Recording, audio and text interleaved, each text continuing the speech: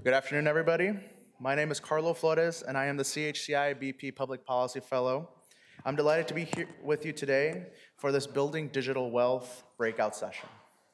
As we have national conversations about building generational wealth and looking at newer investment vehicles like cryptocurrency, non-fungible tokens or NFTs, and digital wallets or investment platforms, we must also talk about how Latinos can participate in this emerging sector and how we can educate and make these opportunities more accessible. That's why I am so excited to be here for this panel today. On behalf of CHCI, I would like to speak for uh, the chair of this panel, Representative Richie Torres, who unfortunately won't be able to join us today. In 2013, at the age of 25, Congressman Richie Torres became New York City's youngest elected official and the first openly LGBTQ person elected to office in the Bronx. At the City Council, Representative Torres stood out, and during his seven year tenure, he tenaciously tackled problems big and small for the Bronx and New York City. He passed over 40 pieces of legislation, including legislation protecting the city's affordable housing stock and tackling the city's opioid epidemic. Representative Torres currently serves as a member of the Committee on Financial Services and serves as the vice chair of the Committee on Homeland Security. I'd like to thank Representative Torres for all of his insights and efforts to building digital wealth in the Latino community. Now, I'm delighted to introduce Silvia Foster Frau as our moderator for the session. Silvia Foster Frau is a reporter for the Washington Post, where she writes about the nation's emergence as a predominantly multicultural society, exploring our changing racial, ethnic, and cultural demographics, and telling the stories of everyday people affected by and part of these changes. Please welcome our moderator, Silvia Foster Frau.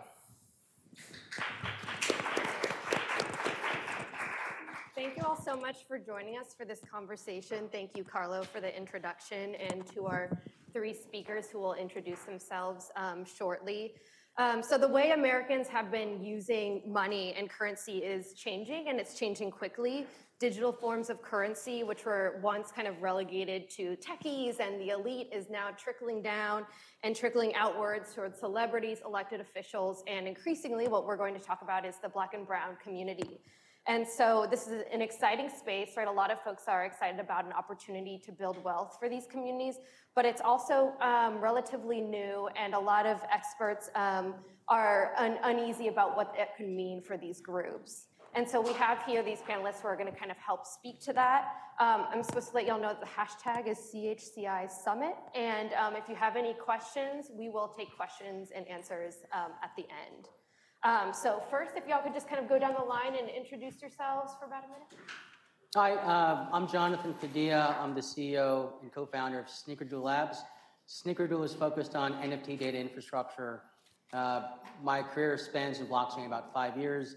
I was the global head of blockchain strategy at PayPal, launching several products, designing PayPal stablecoin, and dealing with regulators uh, here in Washington on behalf of a large corporate entity.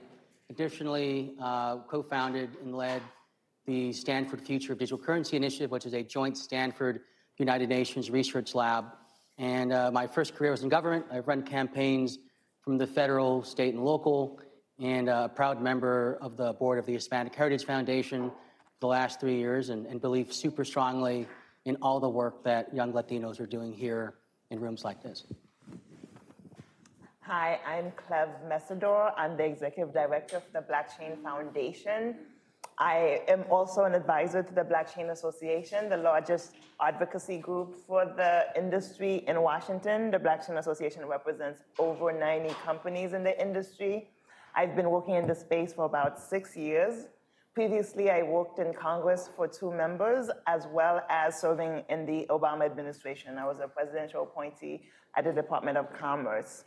I'm, I am an advocate for diversity, equity, inclusion in the blockchain and cryptocurrency space, and I am a huge advocate of women in this space and love the fact that women dominate this room, so.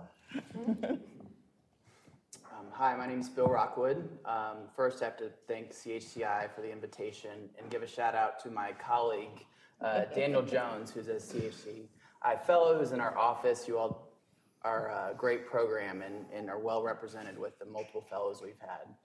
Um, but my name is Bill Rockwood. I uh, wear two hats. Um, I'm the executive director of a group called the Future Forum, which is a group of young Democratic members of Congress under the age of 50 that broadly advocate for um, youth engagement and issues around youth inclusion, uh, which this is a huge part. I'm also the deputy legislative director for Congressman Darren Soto, who is the co-chair of the Blockchain Caucus. And, and just for this particular context, we've introduced 13 bills uh, in this space. We passed the first blockchain bill out of the House. We passed the first digital asset bills out of the House, and we're really um, one of the first Dems on the issue, and we're really ho- hoping to grow um, the narrative and the inclusiveness part because I'm so passionate because I do believe this is going to be the most democratizing um, technology of our lifetime. So I have a huge personal passion and, and hope we can continue to grow the, this narrative and um, inclusiveness.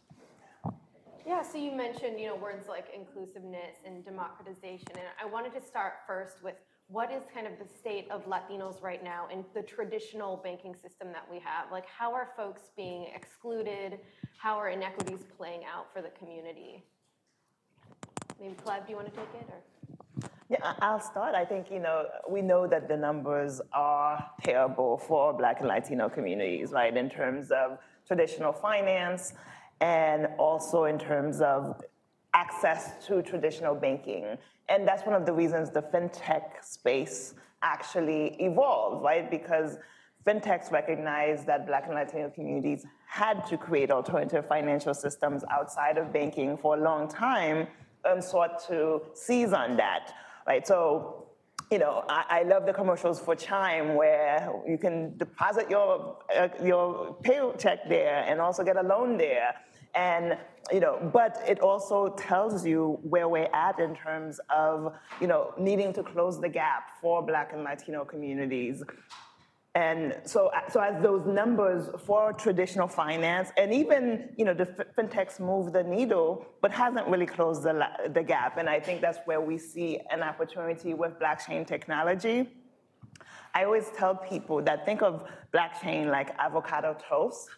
I, I, I was born in Haiti. My family's from the Caribbean. I remember in Haiti, that was poor people's food, right? Avocado and bread was, if you actually had meat. And today in, in the US, we've made it something cost $50 to get. So, like, crypto has really just really standardized a lot of the non-traditional systems we know about, like cooperatives, right? You know, uh, lending uh, person to person versus to a banking. So it sounds very spooky to people, but we, we, we have to make sure people have options, and that's what has led to a lot of the gaps we've seen, is the fact that we don't have a lot of options for our communities, and we, we are at a point where we need to make sure every individual has as many access as possible, because that's the only way money becomes inclusive. I know you wanted to add Yeah, something. and I'll just frame it with two statistics that currently one third of the Latino community is either unbanked or underbanked. And I think the numbers are comparable or even slightly worse within the African American community.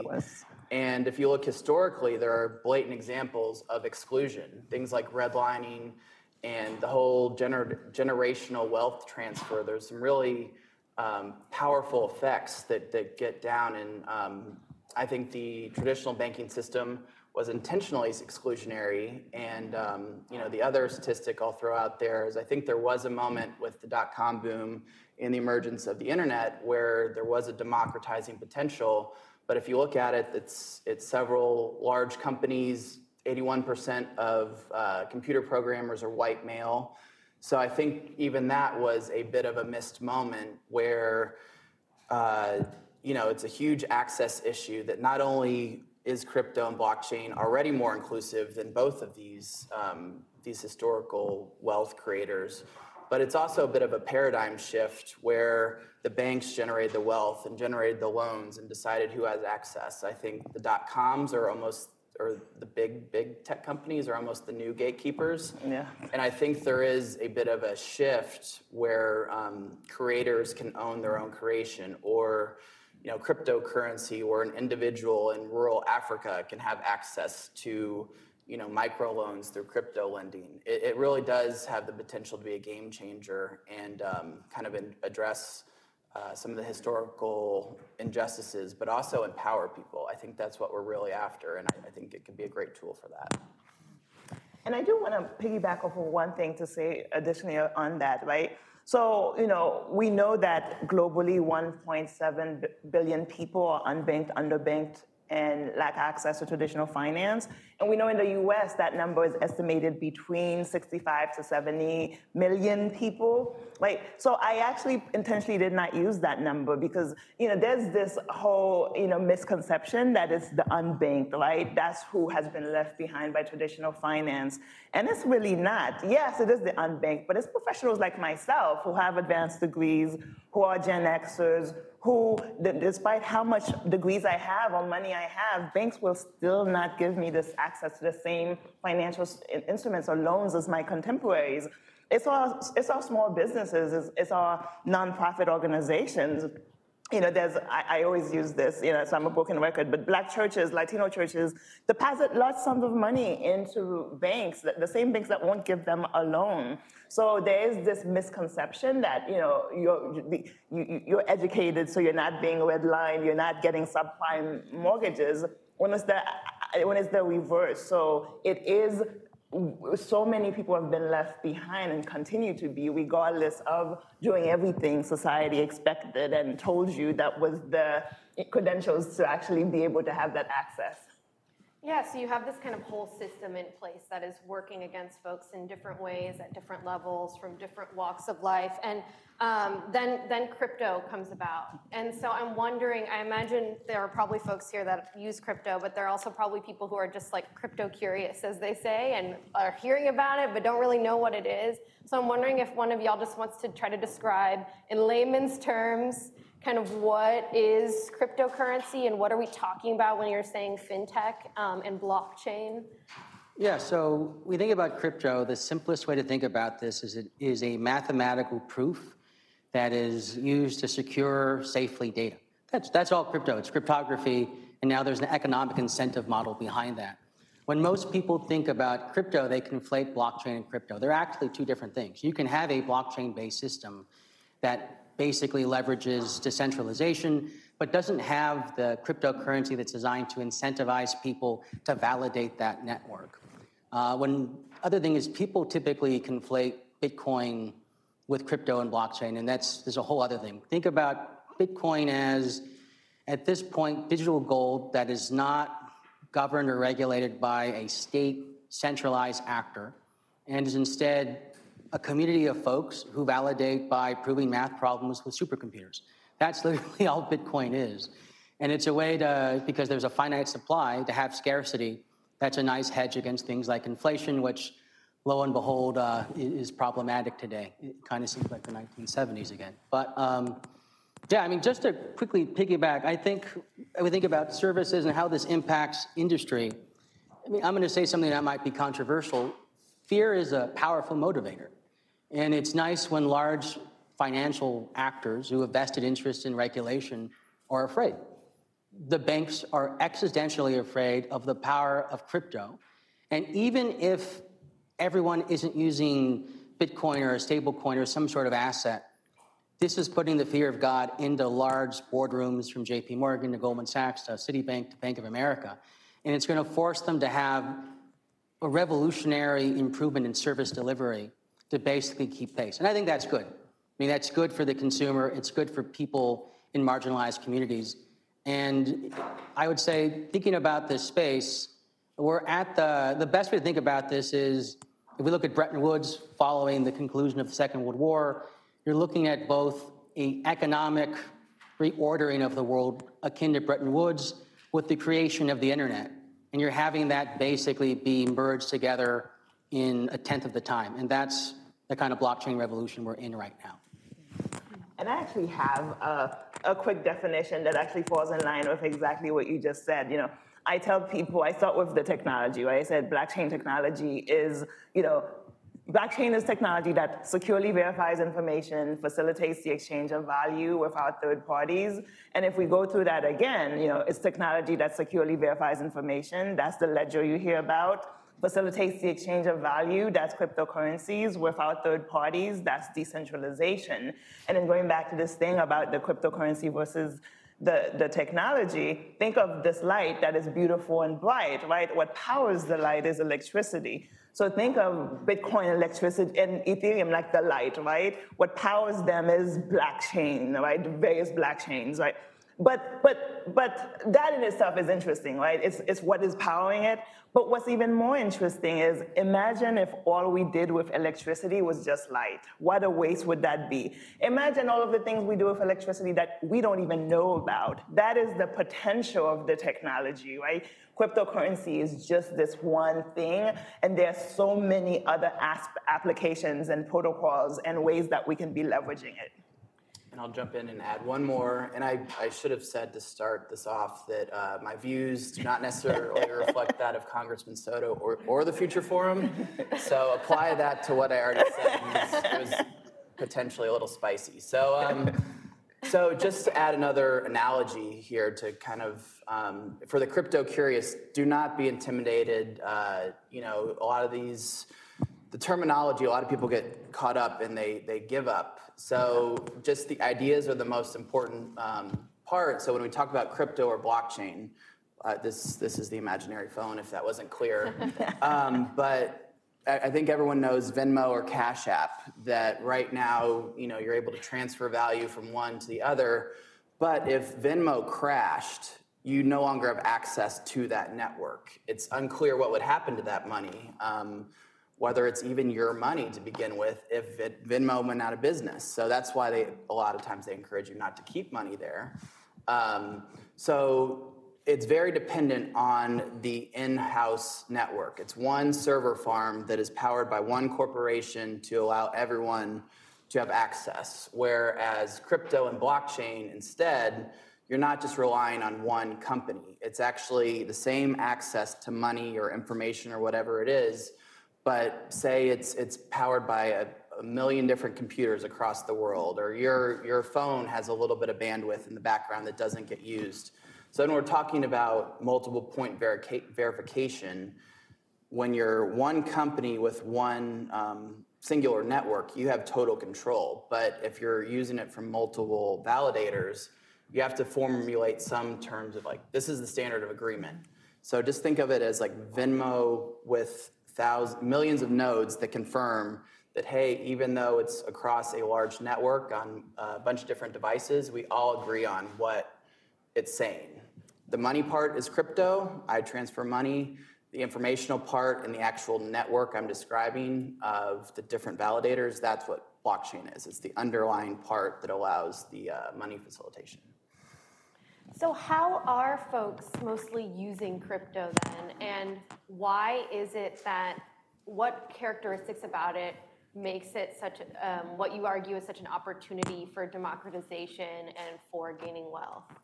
Well, to be super candid, a lot of crypto stuff doesn't work right now. I'm just going to be very honest. Um, the fees associated with sending money on Ethereum or other kind of L2 solutions, which are networks that improve the efficiency of some of these bigger chains, uh, they're just they don't they don't really work. They're not really ready to scale. The technology is being built out to the point in the next three to five years, a cost of transaction may be a penny or two.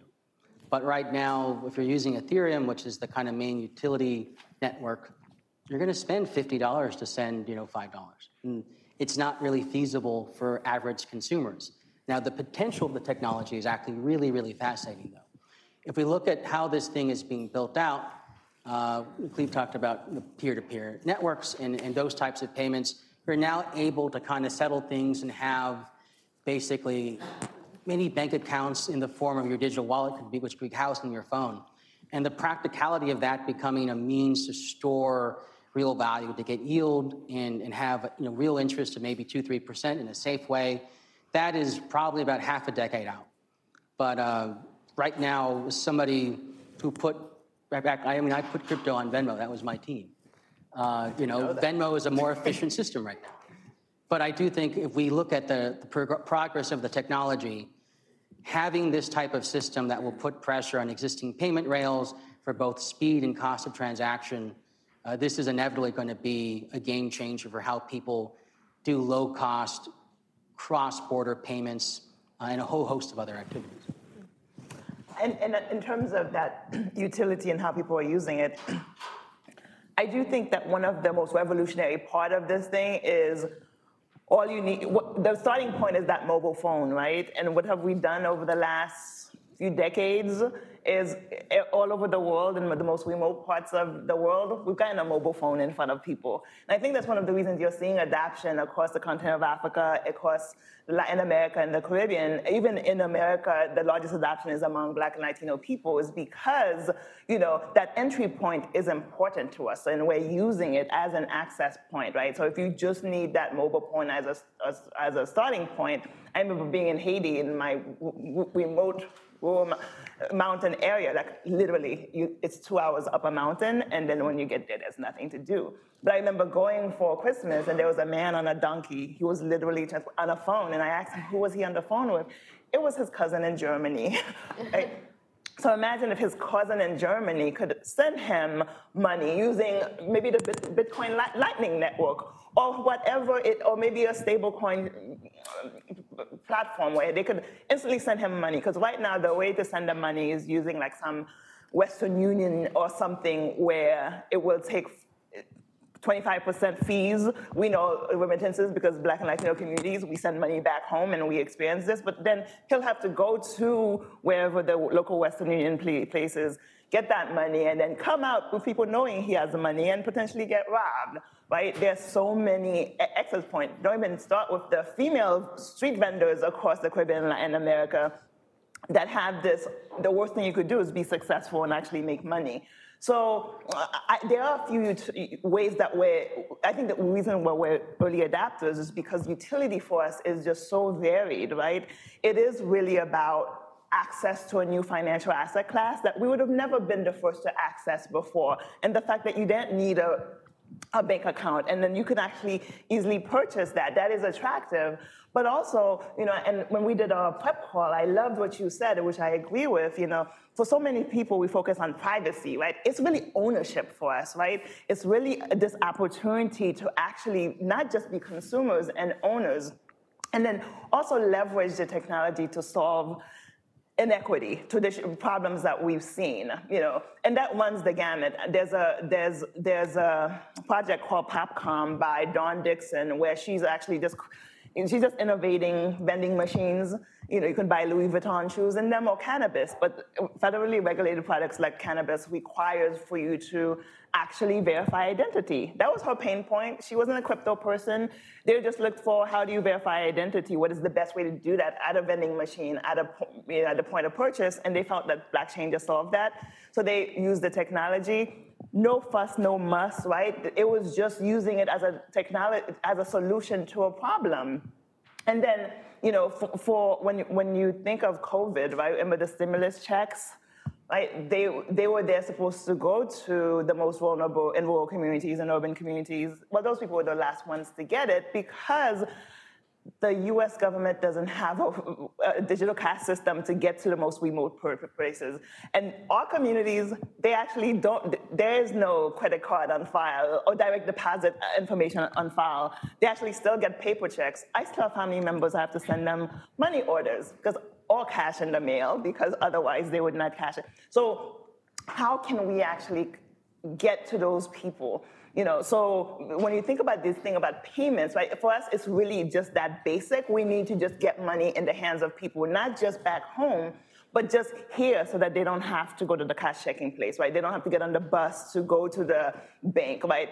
They don't have to experience what Ryan Coogler, the the director of Black Panther just experienced. He went to the bank last month to cash a check, and the teller called the cops on him, and because he didn't look like he belonged there. So for a lot of our communities, right, going to the bank is, do I look okay? All these. So when you look at adoption, right, there are lots of people who think about in, using as a CBDC, a security versus a commodity. For our communities, it's really about basic needs and basic utilities that will actually get us to be able to participate and potentially become owners.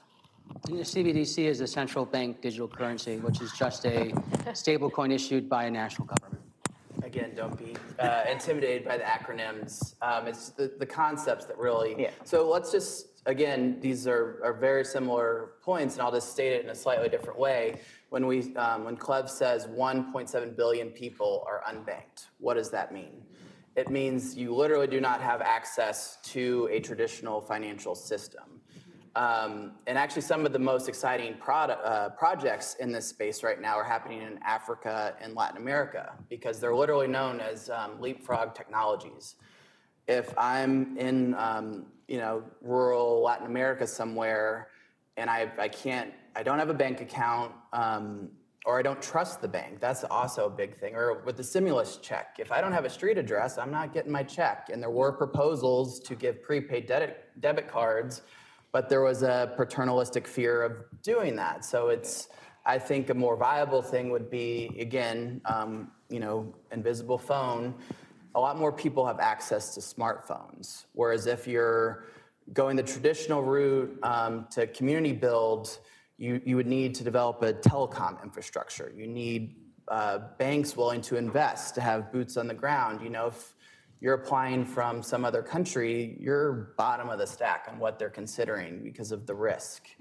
Um, but if you literally have a phone, a smartphone, and an internet connection, you have access to these networks, and that's why these are leapfrog technologies. And on the innovation front, a lot of the most uh, most creative solutions are from people from communities that didn't have access. They were the ones that were encountering the difficulty, so they're the ones with the creative solutions for how to get out of them. Um, so, you know, there's I, a lot of one of the most powerful stories I heard was a, um, a Haitian uh, creator that took a, a $500 student loan that she went to take a coding class, and then, you know, uh, remittances. What does that term mean? It's to send money across a border um, and then it's it's exchanged into a different currency, U.S. to Haiti, and a lot of times there's a 25 plus percent fee associated with that, um, which is just untenable. Or the this migrant seasonal worker who comes here, works for six months, wants to send money back to their family. If they're hit with a 25% upcharge every time they do that, they are immediately kneecapped in that. So there just has to be a more efficient way these solutions help reduce some of those barriers to um, traditional access, but they also allow for innovation and uh, to fill the gaps that the traditional system is currently not addressing at this point. Yeah. I want to um, kind of pivot just really briefly to talk about NFTs. I'm wondering if y'all can kind of describe them and and explain how or if these fit into um, you know, this whole topic of being able to gain wealth in a digital space?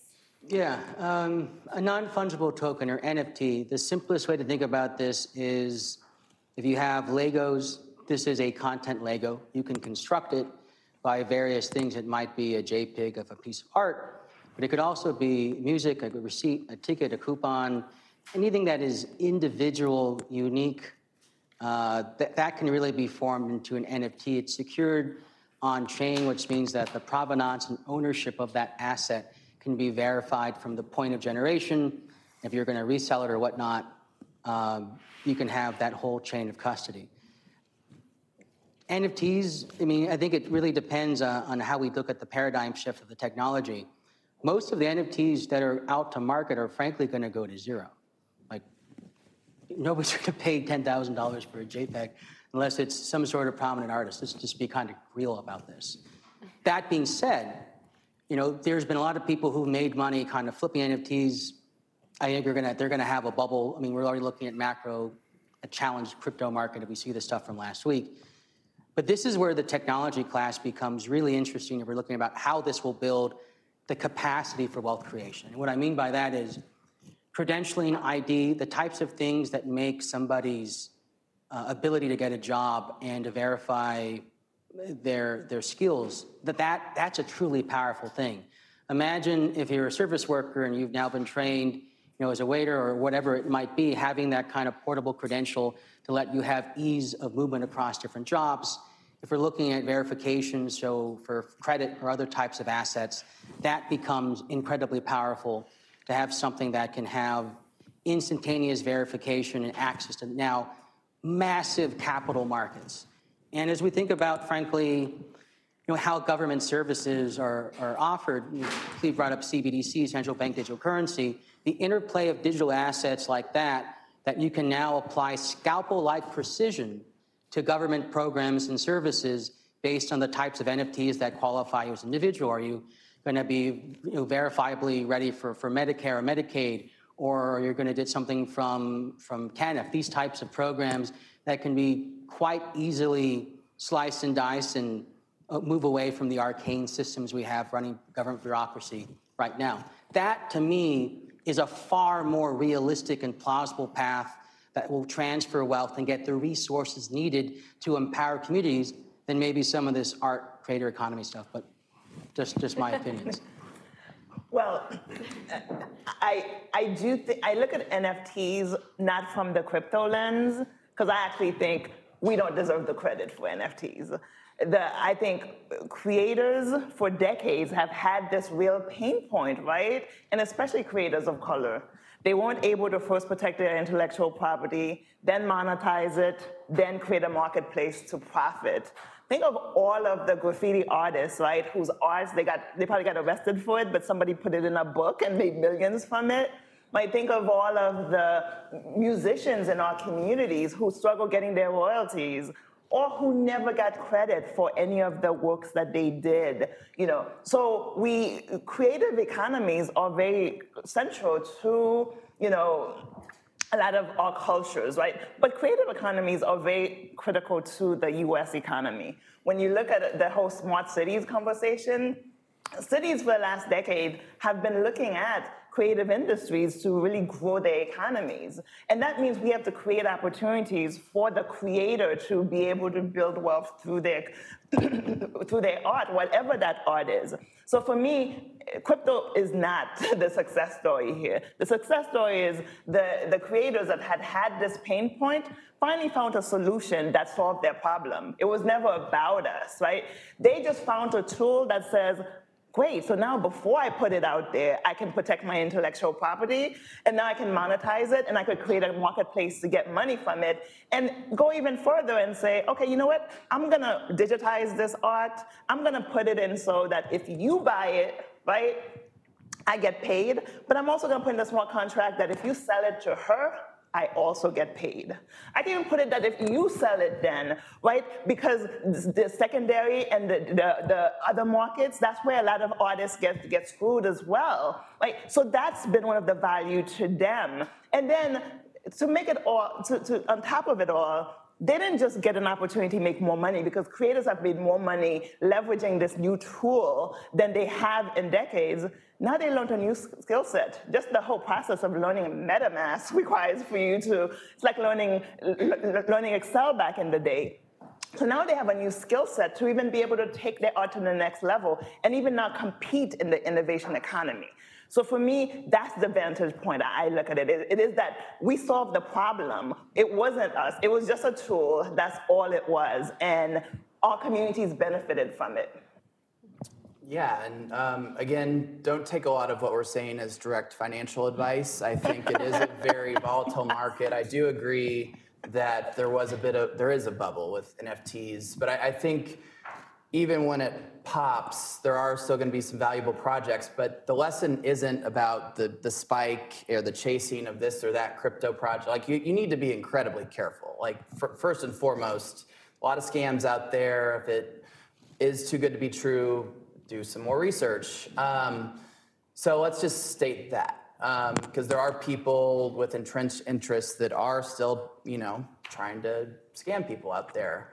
But the idea of NFTs, it's art on a blockchain. Um, so I create something, I can you know turn it into a uh, NFT, and then I have direct access to a consumer.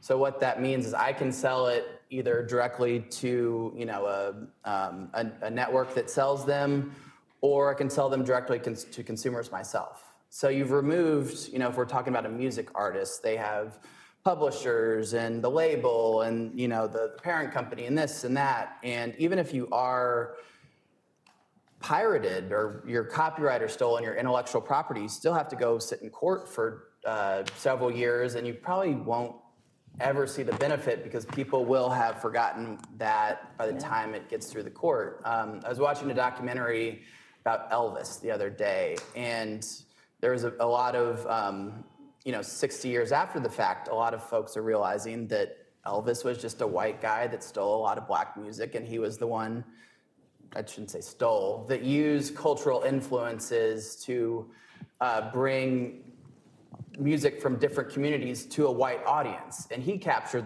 all of the economic benefit where you can trace specific songs back to black Latino artists. And, um, you know, he was the revolutionary, but a lot of times his influence was from marginalized community.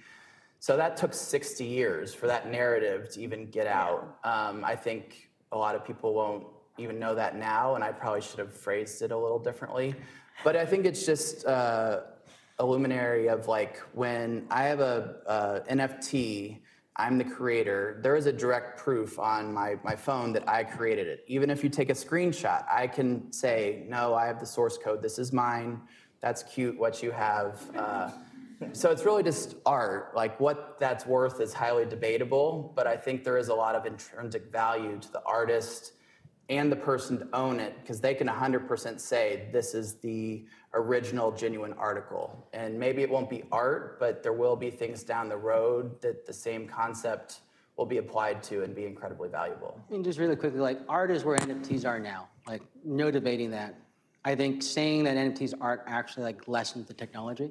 It's really on these other advanced enterprise applications that will be transformative. And I think that's looking where the value will be unlocked. That is going to be the multi-trillion dollar opportunity, way more valuable than the art space. It's just where we are now and where we're going, kind of directionality. And there's a woman, uh, Beatriz Ramos. She runs Dada. Dada is is an NFT community for for artists globally, and she actually her community actually created NFTs way before Dapper Labs. But for them, they did not go into that direction because she's really focused on creating a community. So I definitely recommend looking at Dada. is by Beatriz Ramos, and she is just doing incredible stuff in terms of creating a community. And the goal is really to create opportunity for artists, less about creating, you know, millions of money for just because just to create a market for the sake of creating a market. Yeah. So I want to get into a little bit about the risks and concerns with cryptocurrency and about where regulation stands with it. So um, there's you know a lot of debate even of how to classify cryptocurrency and what agency should be regulating it. And I wanted to know you know where that stands right now, and also what your thoughts are to folks who say, hey, you know.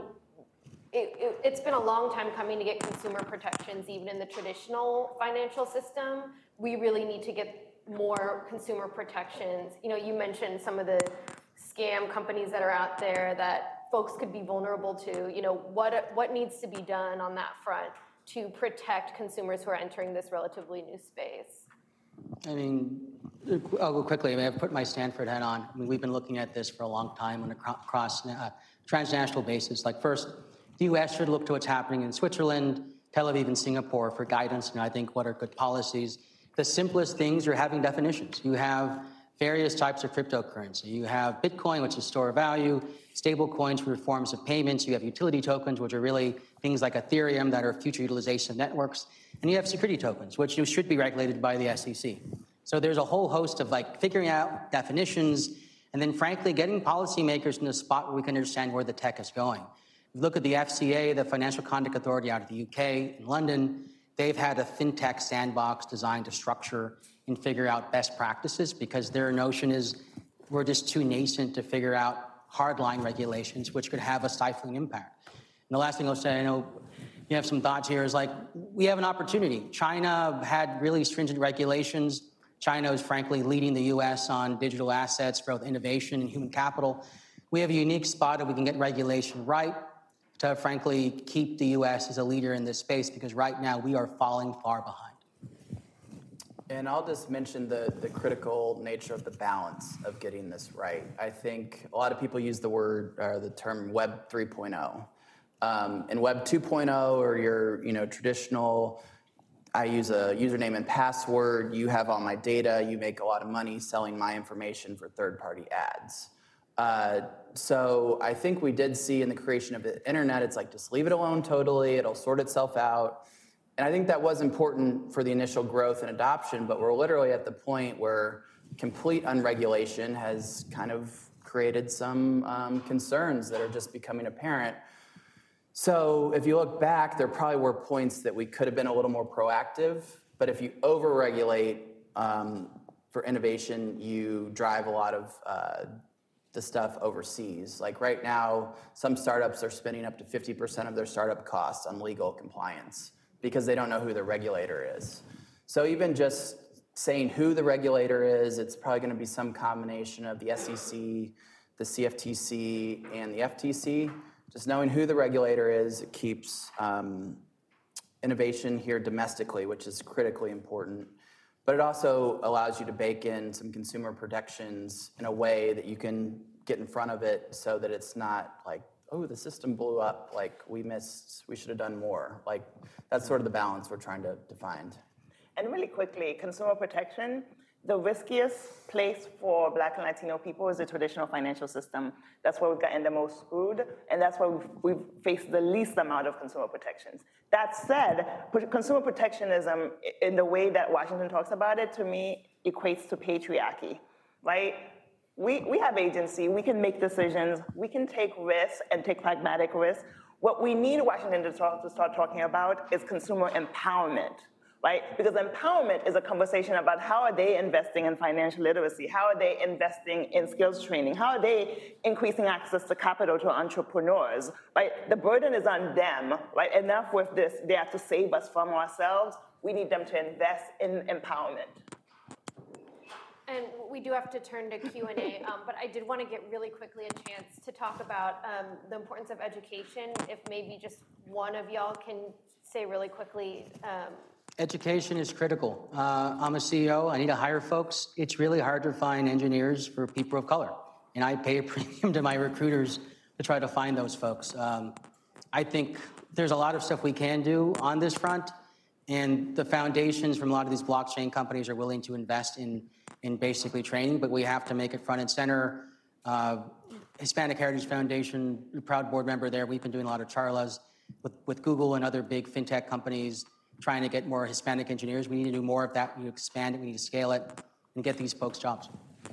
We need to invest more in education. Uh, the, the, the Blockchain Foundation I work for, well, I'm the executive director of, is financial literacy focused because we need to arm people with trusted content. And right now, the public is scrambling where to get information. So we need to create places where the industry can provide content and everyone has a one-stop shop. So a lot more work to do, but we need more education. Spanish language content, all yes. of that. Yeah. Okay, we have to move to questions. Um, I guess we're, are we just raising hands? Is that what we're doing? All right. And Carla will come around with the mic. I actually have a question. Oh. Sorry. just kidding. So, um, kind of going back to education, um, thinking about this is, you know, I kind of understand it a little bit, but I think back at like in black and brown communities, you know, other like my parents, you know, aunts, uncles, all that. They're very mistrustful of the traditional economic system already, and they're also not very confident when it comes to technological, you know, they're, they're not technologically literate.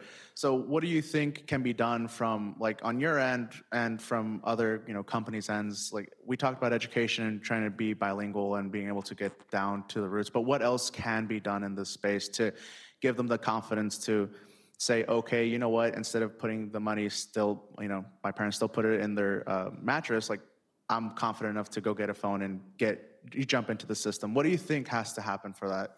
So first off, like, it's a great question. I mean, I said this earlier, like, blockchain still kind of sucks.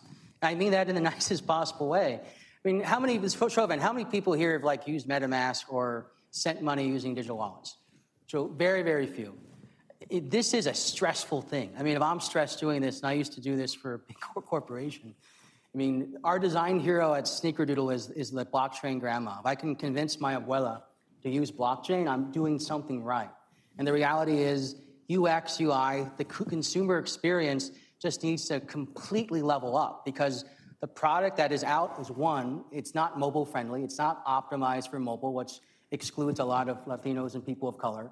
And then two, it's just, it's just kind of janky. That's the best word to describe it. It's not consumer friendly. It's not, you don't feel confident sending, you know, $20, even if the costs are marginal. And I would say on education, I think the reason the data shows that Black and Latino communities lead adoption in the US is because Black and Latino innovators went into our communities and we did the education over the last decade. It wasn't because the industry targeted our community. So it's because we did it on small scales. One of the best projects I know of is Crypto in Context in the Bronx. That was started, Carlos Acevedo, who now works for Brave, but like six years ago, he was a teacher who worked with Electric Coin Company and the Bronx Community College to actually go into a Latino community in the Bronx, do education in language and empower people. But in order to scale that, we need funding for that, right? And so that's the, the go back to the enough of that protection thing. How much of that funding goes into our community? Because we know the infrastructure bill has all of this money for, for digital literacy and stuff, but it goes to the same usual suspects and it never trickles down to our community. But what can the industry do? We absolutely should do more for the foundation, one of the things we're, we're, we're going to be doing is creating a digital assets library where we invite everybody in the industry to actually aggregate content. It's going to be virtual. They've created trusted content they've sent to Washington, white papers, all of this stuff. We're gonna work with the American Library Association to, to make sure it can be accessible. But we need one point of information where people know that this is not some weird YouTube video and is, who is this person also, one of the things in my work that I've done, I've, I've, I've done this education piece, I realize leaders of public institutions, leaders of nonprofits, leaders of, of academic institutions, they've been clear. They do not want to outsource the education of their network, of their stakeholders to us, right? They want to have these conversations, but they want to do it. So one of the things that we're looking at is where for the foundation, we're actually looking at Georgetown to actually create a two-day certification program for leaders of institutions so that they can do their engagement. Just so you know, when a member of Congress is elected, they don't send them to Washington. They don't trust them to send them to Washington, no matter how one, how much they won. They actually go to a two-week program at Harvard. Yeah, and David King runs the program. yeah, and they have to learn how, how a bill becomes a law. So this is no different, where we'll actually have a certificate program at a trusted institution that they're comfortable with. They can do it in person or virtual, and where the industry is participating. What, what help do you need? So we have to recognize that this is happening, but we have to resource not just consumers, but leaders of institutions that want to start doing this because there's no one size fit all. And I would just say, uh, ask questions and be nice. Like that's a big problem with this ecosystem right now. Is it's a lot of holier than thou, and and I'm being thought provoking intentionally, but um, No, it's true. You have to meet people where they are. Um, I think the messaging has been better to the the right, candidly, because there's a lot of libertarian ethos uh, within the foundations of Bitcoin and some of these technologies. And it's literally just asking the questions, promoting narratives. I think that stuff really appeals um, to different audiences. The, our job is not to get grandma comfortable with using crypto. Like the real acceleration curve is going to be you using blockchain-based or crypto-based systems without you realizing it. Like you use a lot of these rails where you don't know how to code, but you can get on your again your little phone and it does a lot of magic things.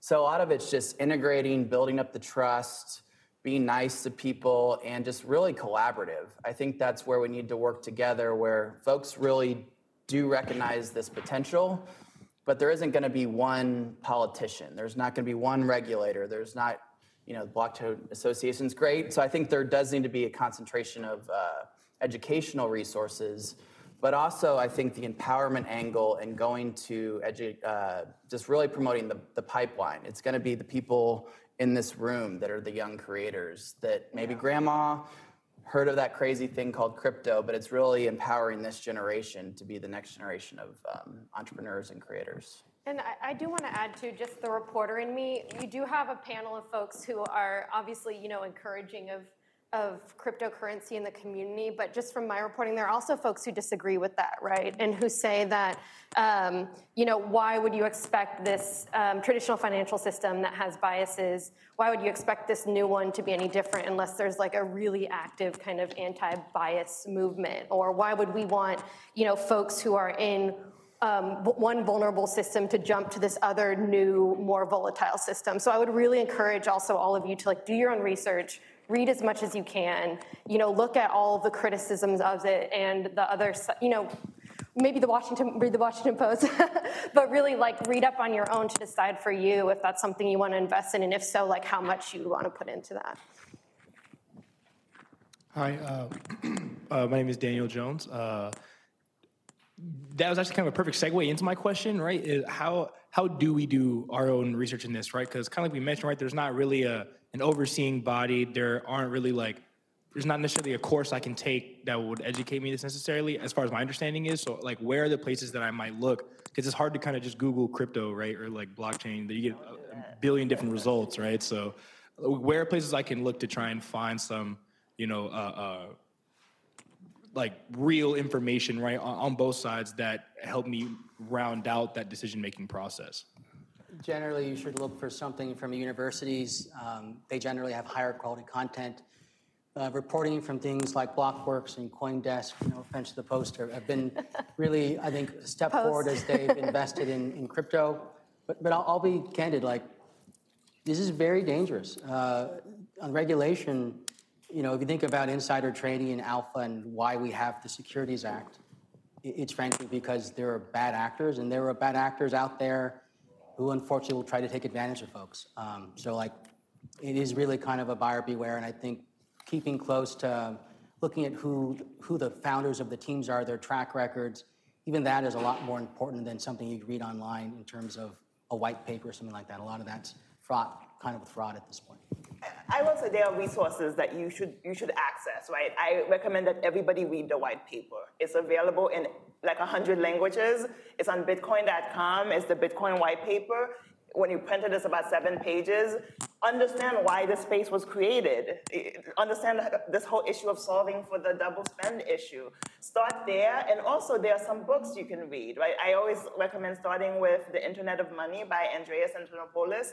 It's just a series of articles and such. It just talks about how we've been digitizing money.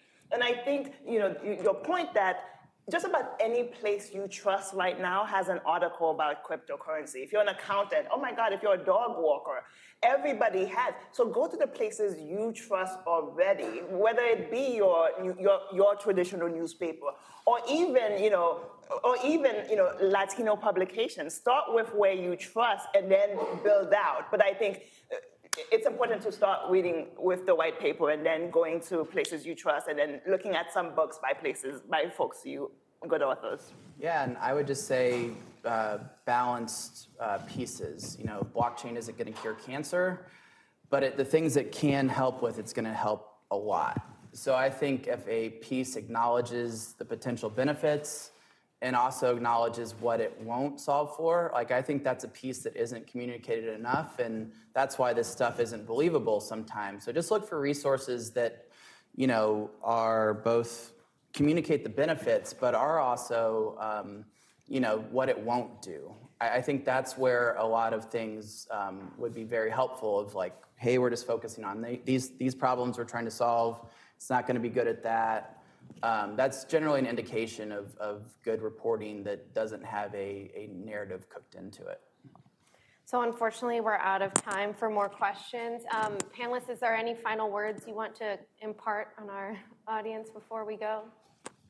I mean, I would say that this is going to be, as, as a space, probably the most important transformation of, I think, the global economy in the last 50 years, really since Bretton Woods. The United States has an opportunity to kind of, cur- like, I guess, directionality steer how we do this, but it's going to require us to deep thinkly about the state of the global economy and how we regulate. And if we can do that, not only will this be tremendously powerful for minorities and people of color in the United States, but frankly, as a tool set to uplift billions of people globally from poverty. And there's a whole other stuff there, but directionality, we're in a good spot if we can get the regulation and the space safe. I think how you think about crypto is based on what is your relationship with money. I would be surprised if Warren Buffett came out and, and endorsed crypto, like crypto. The man has made so much money off of the traditional financial system. If I was him, I'd be like, hell no. So if your if the traditional financial system has failed you, if you if your relationship with money is scarce and it's challenging, you look for options and you want options, right? So I do think look at that that lens from that look at crypto from that lens and look at utility from how we can help our communities, our families look look to other options. I think no one can define for you what is the best approach, what you should be doing. But I do think that we have tools. FinTech was one of them. Crypto is, is another. There'll be you know layers onto this, but I think we need to finally start looking at our relationship with money and how we can actually make some tr- transformative changes. Yeah, and I would, uh, one starting place, if you're curious, keep asking questions. Don't be intimidated. If the paper's too technical, don't force your way through it. Look for more accessible things and work into that. Because I see a lot of people that get scared off because they're intimidated. I think it is going to be a social empowerment thing. I think, you know, up to a, a tenth plus of the global economy is going to be based in this stuff one way or another in the next 10 to 20 years. So it's a huge opportunity, but your skepticism, keep it. Um, keep asking questions. You know, if anyone's dismissive, don't keep going to that person to ask them questions. Find somebody you can bounce ideas off of. Know what problems you're trying to solve for. You know, when we frame conversations this way, it's like we're moving to this stuff because there have been problems with the way things have been done before. It's not a pro- uh, solution in search of a problem. Um, so just keep asking questions um, and recognize the opportunity and, and just, you know, just read some articles every once in a while and, and do recognize that there are going to be jobs in this field down the road. So you don't have to be super fluent to get a job right now in this space. Um, and more and more jobs are going to exist. So as a young person, you're nervous about getting a job, I, if you have any sort of fluency or background in this space, there are so many companies that are looking to do anything connected to this.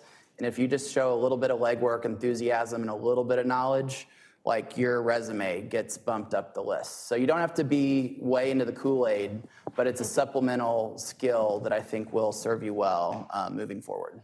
Careers in blockchain.us. Careers in blockchain.us. Over 3,000 jobs right now. Well, thank you so much, Jonathan, Cleve, and Bill, for being on the panel with us. That was really fascinating. Thank you all so much for attending. To the behind the scenes folks, too, I really appreciate it. And um, yeah, we'll keep having this conversation. Thank you.